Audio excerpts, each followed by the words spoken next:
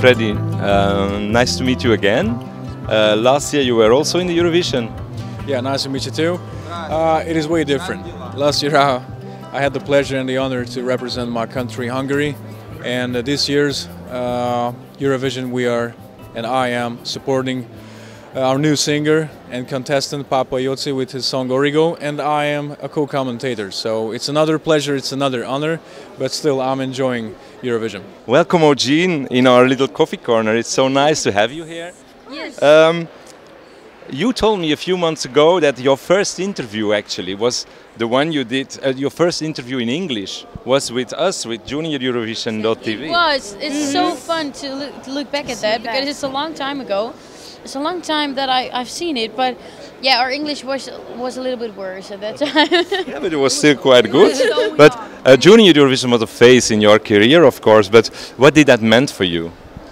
Um, yeah, it, it meant everything. It was the start of our career, and uh, from that moment on, we were singing on stage at the Eurovision, Junior Eurovision, and it went nuts. The entire um, venue went crazy, and that's the moment when we thought we cannot say goodbye to this ever. We want to do this for the rest of our lives. it lives. was the start.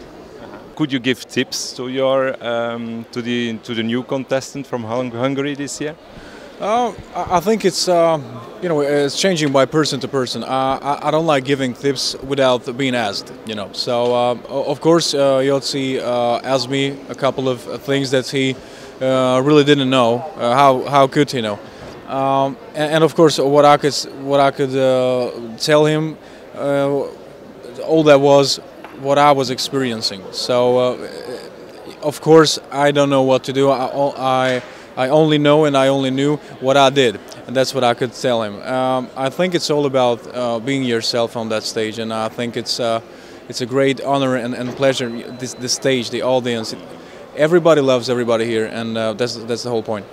Do you have any advice for kids that want to uh, join the Junior Eurovision? Is there any advice you can give them? Yeah, Please do, There's yeah. no reason uh, not to do it because Yeah. if you like singing and if Yeah. you if you want to be on stage, the, Follow you just, your passion. Yeah, you just, Just have for to the try. full hundred percent. And if it doesn't work immediately, don't think you're not good It enough. Just keep on going. Yeah.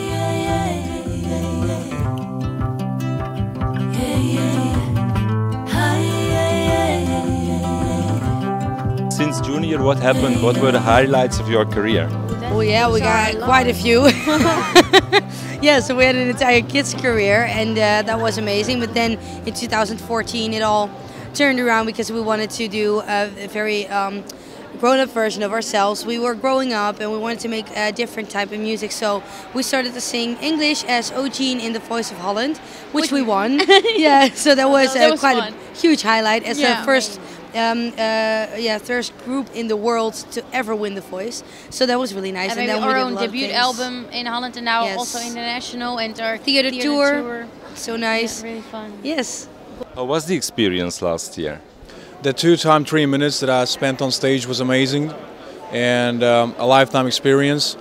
You know, uh, it's just six minutes, but still, uh, you could feel that you are um, hungry uh, for that t- two nights. It, it is amazing. After the Eurovision last year, what did happen to your career?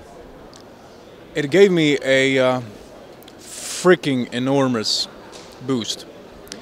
Um, even though uh, we were not ended, we, we did not end up at the top. Uh, when we got back to Hungary, everybody uh, let me know how much they loved uh, our performance, our song, and um, basically I can tell you that um, until that day, until this day, uh, all of our concerts uh, peak is, is Pioneers. So uh, it is it is amazing, and, and uh, that is why you know it is it is so special to me the whole song because a lot of emotion is actually related to it. So uh, it, it gave me a hell of a lot of a boost. Your song had quite a special meaning because of your mom. Can do you want to explain us a little bit? Course. Um, yeah, our song is inspired by uh, our mother, our own personal situation, because she is seriously ill. She's been battling with cancer for several years now. And uh, we wanted to do something positive with it. And we're on such a huge stage, you can better use it for so many people who are, who are going through tough times themselves. Uh, so many people uh, are in that kind of situation. So we wanted to bring something positive to them, um, and that's when Lights and Shadow was, was born. So yeah. Can, can we ask you how she's doing now? It's not really going well. Um, she starts uh, new, New radiation therapy therapy, uh, on Monday, actually. So But she's very proud and she, yeah, Yeah. she follows everything Oh, really everything, good. Yeah, yes. yeah. And how, how do you keep her up to date? FaceTime. FaceTime. text, everything. WhatsApp, yeah. WhatsApp. And yeah. uh, she keeps she, she keeps she keeps us up to date Yeah. for Yeah. everything what's going on in the Netherlands. So that's good. Yeah. everything. yes.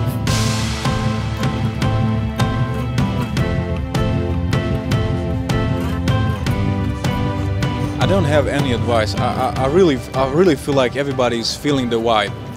Nobody care. You know, I, I'm here back to back years, and uh, now I'm spending the most time uh, where I was spending the least last year, the press center.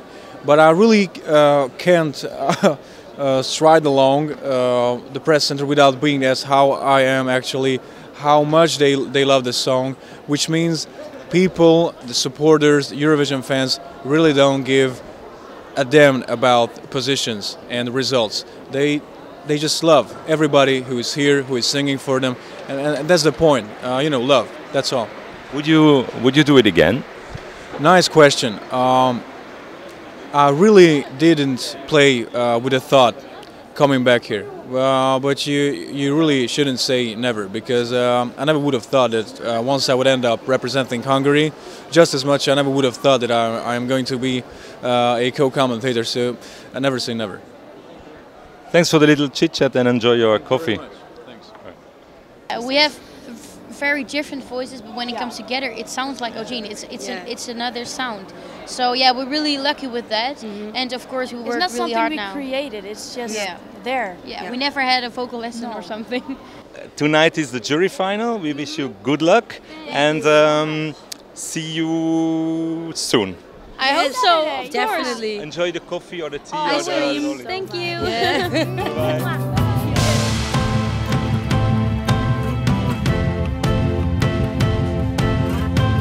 Uh, Salvador, your name actually means savior. How are you gonna save Portugal for the Eurovision Song Contest? Oh, I'm not trying to save anybody, man. That's that was for other people. I'm just trying to send a good message with the song, and I hope I can do that. Uh, if Portuguese people like it, then uh, all the better, you know.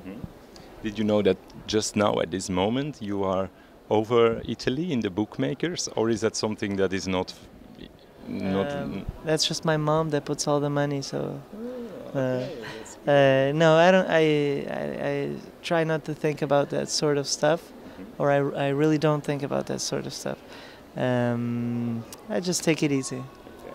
So we wish you good luck. Thank you. Thank you very much. Coração pode amar pelos.